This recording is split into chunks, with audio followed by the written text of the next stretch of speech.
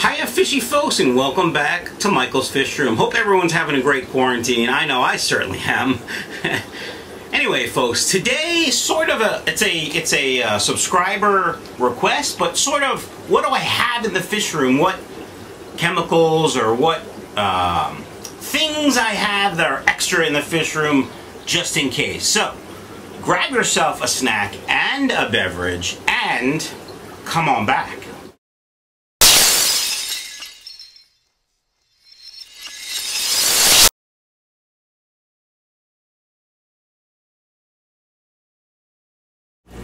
Alright fishy folks, welcome back. Guys, before I get started with all my stuff, if you could do me a favor, go ahead and just obliterate the subscription button. Just obliterate it. Sledgehammer, jackhammer, whatever kind of hammer you have, obliterate it. And then, when you're done with that, because the notification bell is a little bit more sensitive, why don't you go ahead and just gently caress it. Just just rub it gently. Maybe talk sweet nothings into its ear.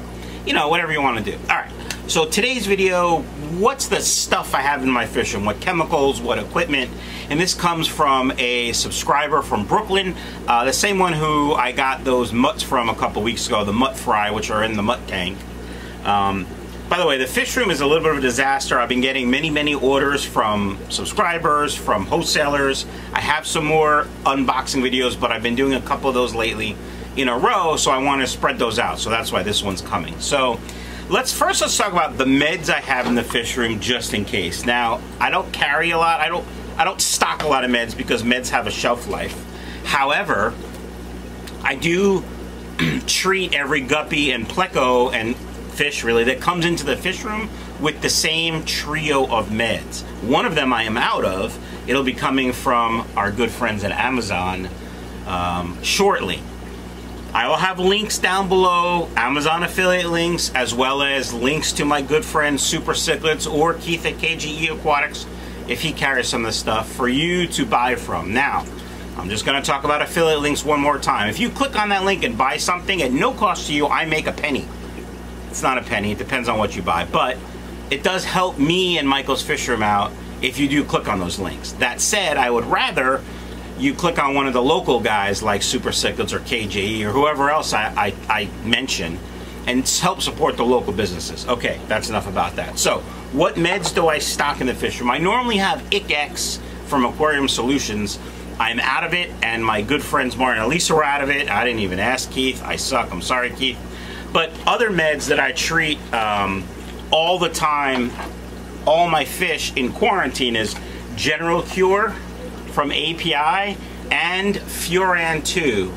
Um, I also have some EM erythromycin left from when I used to use that. And you might be saying to yourself, Mike, why do you why do you have the little boxes? Well, I do have the, the big tubs um,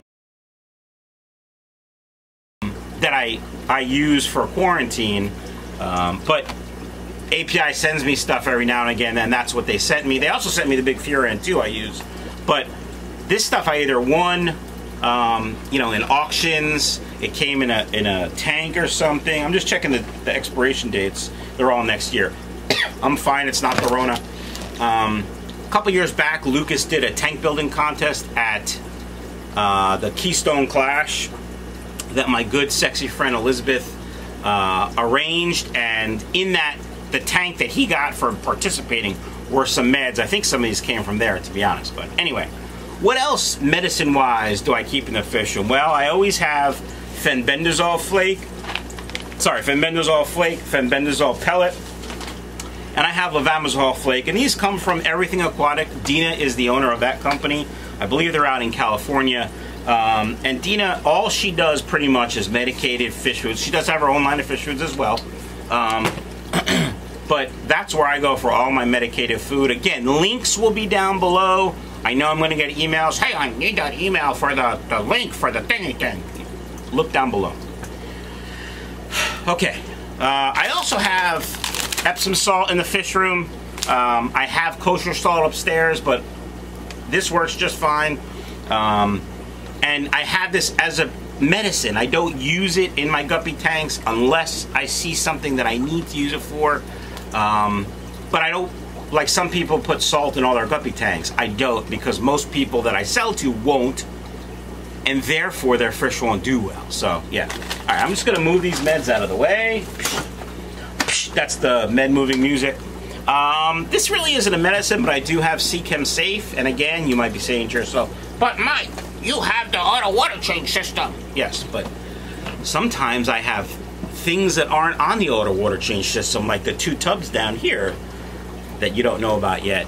Uh, that I need Seachem Safe for. Plus, upstairs, I have a tank that's not on the auto water change system, although I've been trying to think how to get it on the auto water change system. Um, and I need to do water changes on that. Now, normally I would use Prime, but years ago I bought Safe, and now I'm just checking to see if, if there's a expiration date, because I'm sure it, it expires. I'm gonna have to call Seachem. Do you guys know if Safe expires? Because I probably bought this three years ago. Anyway, I digress. Um, safe, Seachem Safe. You should always have Seachem Safe or Prime, even if you don't have ammonia. I mean, even if you don't have chlorine, like if you have a well, but you should always, and you don't have chlorine or chloramines in your water, you should always have it in case you need it. Like if you have a cycle crash, you can use Prime to get through it. I've done videos on that. I'll try to link it up here, but I also have a spare heater in the fish room. Now, I don't have many heaters in my tanks. There are some breeding for profit tanks that I have heaters in because I'm trying to get the guppies to grow faster. Um, and they grow faster when it's warmer. I also have this pleco tank right here that has like a thousand plecos in it. Um, I have a heater in there as well to get the plecos to grow fast. Um, but if I have a problem, and I like, let's say I have ick in a tank, and I need to crank the heat up, boom, I have a heater. Um, now this isn't like this isn't a super expensive heater. I wouldn't stock a super expensive heater, but if I need one in a pinch, you know, I, I think I spent I don't know twelve or thirteen dollars on Amazon on these. Um, I know my good friends Martin and Lisa are getting some new Cobalt heaters, and I can't wait to try those, especially in my outside tubs. But have extra filters. Here's just an extra box filter. Um, I probably have 30 extra filters. Why? Because I set up tanks in a hurry because I'm dumb. I order guppies or people send me guppies and I forget and then I need to set up a tank. Uh, so, plus I sell seeded sponge filters on my website, Michael's Fish Room. So I've been replacing, when I sell a seeded sponge filter, I replace it with either a new sponge filter to reseed or a box filter. So I know I can uh, still maintain filtration in my tanks. Uh, what else? Oh, something back to medicine. I have a measuring spoon. This is was a free giveaway from Lisa at Super Cichlids, and it's just a measuring spoon for uh, medicines. You know, tablespoon, half tablespoon, one and a half tablespoon, a pound. I don't know. It's just got all kinds of things. Um, I have in my fish room a pepper mill. Actually, I have two pepper mills. And this one is for um, to crush up big pellets into fry food. Batteries need to be changed. But that's how it works. Um, and what I can do is I can mix different pellets. Like this is the 6 mil uh, Krill Pro from Northfin and also Predator sticks from Cobalt. Both in here. Fry get them. The krill is fantastic. Um, but that krill is 100%. The fry Frystar, I think, is only 85% krill. So this is actually better. Ah, air stones. I keep extra air stones. Why? Because these cheap ones um, that you get at you know your local fish store or Amazon or wherever you get them from, they break as soon as you put them in the water. They seem to disintegrate. So if I ever need one, I have extra. I also have, well, I had the clogless the ones with the multicolors, I think Cory sells them. I probably got it from Cory years ago at, Aquarium Co-op. But I just recently used it. Um, when I used to make my own filters, my own sponge filters, that's what I would use inside is one of these. Caves, I have some extra caves. Here's a, a terracotta pot I drilled a hole in, and uh, it's just a cave. In case, like, I picked up some kribs once and they needed caves, so I had these caves lying around. I used them. Here's a PVC cave that I made out of a cap. Um, also, plecos like them. I don't normally use them in pleco uh, tanks anymore because it's hard to catch them when they're in the cave. Um, and they're probably not breeding in the cave because that's not the style they like. But um, that's, you know, just things to have in the fish room. what else do I have? Oh, Pinky filter floss, right? I talk about this all the time. I have a whole roll of it. I also have extra filter floss like this. Why? Because Marineland sent it to me and I don't know what to use it for just yet, but I'll probably use it the same way I use this. All right. Very important if you have a fish room.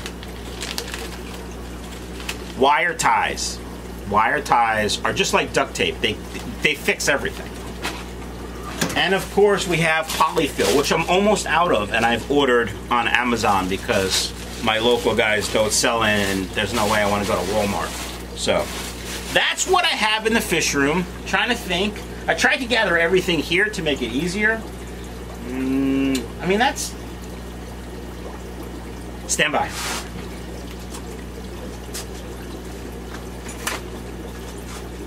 Sorry. I can't believe I forgot. The Brother P-Touch label maker. Now, if you only have one or two tanks, you probably don't need it. You might be able to use a Sharpie or a dry erase marker or one of those uh, paint markers that comes off with that you can wipe off. But if you have a few different tanks, you may want to label what's in the tank. If you have fry, um, and the labels come off quite easily, but stay on even if they get wet. Um, when I first started, I didn't label things, and I would have brain farts, you know, doing fish room tours. This is the red guppy, you know, and I, I wouldn't know. So now, every time I put new fish in a tank, I label them. Um, e even if it's like a really common, easy strain to remember, like green cobra, I usually label it. So, getting communication, not important. Okay. Uh, that does it, folks. Why don't you let me know down below what you keep extra in your fish room? Oh, dad. You can't see over there, but I have a ton of airline tubing, both blue and, and clear. I use the blue for water lines. I use the clear for airlines. Um, I've been thinking about redoing the air and water lines in the fish room. Not so much the water lines because a lot of those are new from the new the new um, zones I've made, but maybe redoing the airlines because they're a mess. And I probably won't be changing the air loop.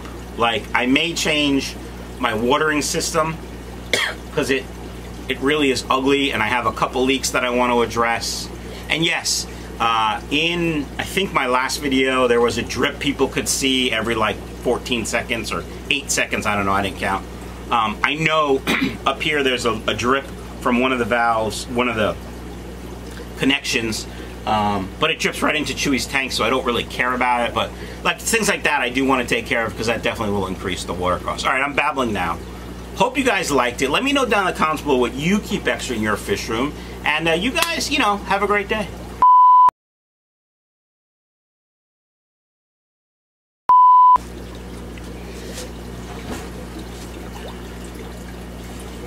All right, fishy. And then when you're done with that, because the notification notif